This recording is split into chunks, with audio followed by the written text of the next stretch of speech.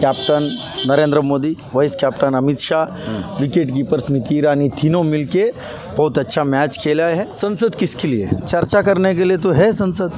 संसद में चर्चा कहाँ हो रहा है? तो पार्लियामेंट बंद कर दो ना।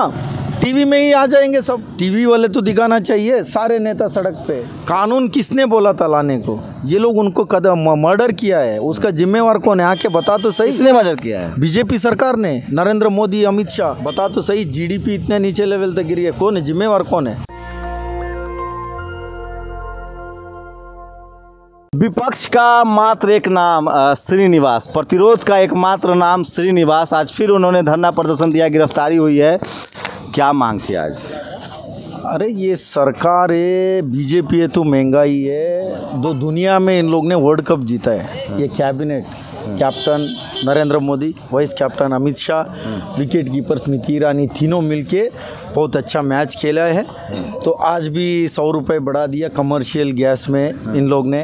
रोज़ कुछ ना कुछ चीज़ों में इन महँगाई करने के अलावा इनके पास कुछ नहीं है। संसद किसके लिए? चर्चा करने के लिए तो है संसद। हाँ।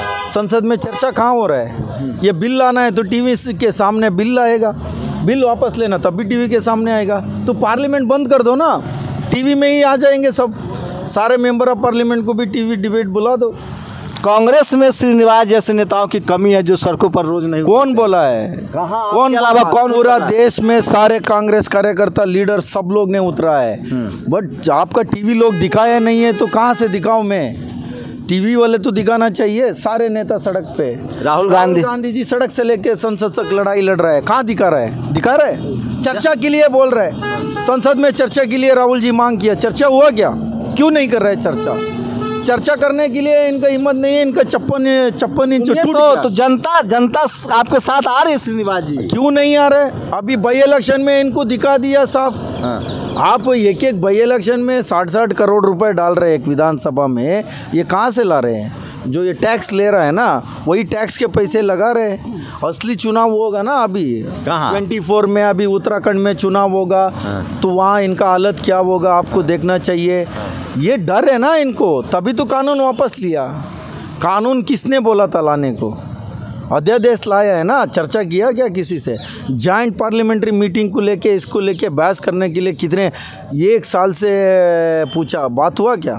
700 के अधिक किसान जो शहीद हुए हैं उनके उनके जिम्मेवार कौन है? ये लोग उनको कदम मर्डर किया है। उसका जिम्मेवार कौन है? आके बता तो सही। किसने मर्डर किया है? बीजेपी सरकार ने। नरेंद्र मोदी अमित शाह। इनका, इन, इनका काम ही यही है ना, इसके अलावा और क्या है? क्या आपकी पार्टी के लिए ये किसान बिल मुद्दा रहेगा?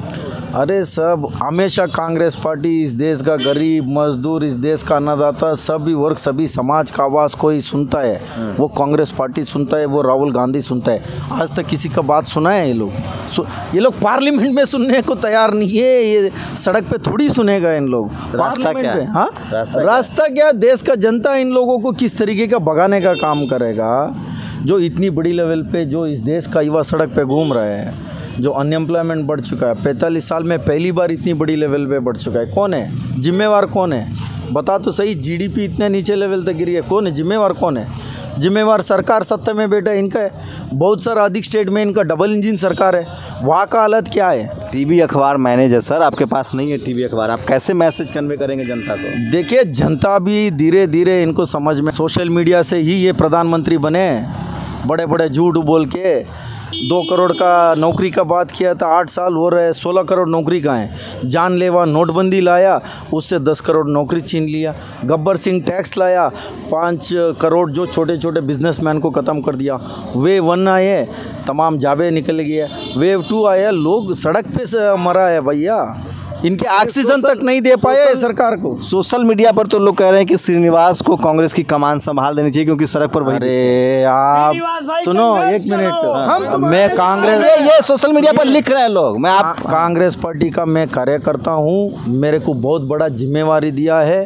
हमारा नेता राहुल गांधी जी के नेतृत्व में हम सब लोग लड़ रहे हैं टीवी वाले नहीं दिखाए तो हम क्या कर सकते हैं? हमारा पार्टी का सारे नेता सड़क पे है और सरकार को घेरने का काम सारे नेता कर रहे हैं सारे कार्यकर्ता कर रहे हैं लगातार सड़क पे है आगे भी रहेंगे।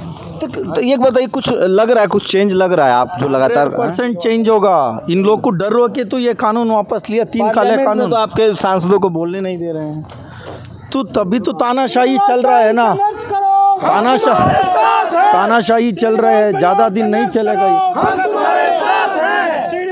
देखिए राजनीति में राजनीति में लोगों को सड़कों पर आना चाहिए। मैं फिर कह रहा हूँ श्रीनिवास एकमात्र नाम है, चाहे वो लॉकडाउन था कोरोना था, या अब लगातार प्रोटेस्ट के नाम पर। श्रीनिवास रोज़ सड़कों पर निकलते हैं और धरना प्रदर्शन करते हैं। अब तो ऐसा लगता है ये बात थोड़ी बड़ी हो जाएगी, लेकिन सही बता रहा हूँ कांग्रेस की पहचान जो है वो श्रीनिवास बनते जा रहे हैं। आप लोग की क्या राय है? शंभू कुमार सिंह, नेशनल दस्तक, दिल्ली। नेशनल दस्तक की आपसे गुजारिश है कि अगर इसको बचाना चाहते हैं तो नेशनल दस्तक को सब्सक्राइब करने के लिए रेड कलर के सब्सक्राइब बटन को दबाएँ, फिर बेल आइकन की घंटी दबाएँ। नेशनल दस्तक को बचाने के लिए बहुत ज़रूरी है कि हर खबर को शेयर करें, लाइक करें, कमेंट ज़रूर करें।